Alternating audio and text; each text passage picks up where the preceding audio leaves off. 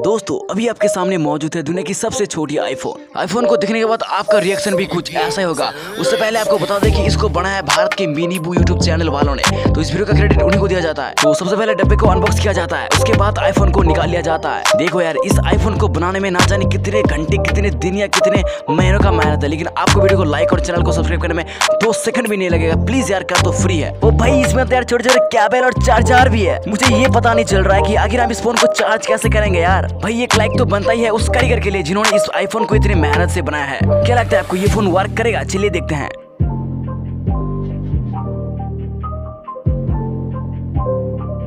कमाल है यार, ये फ़ोन तो वर्क भी कर रहा है।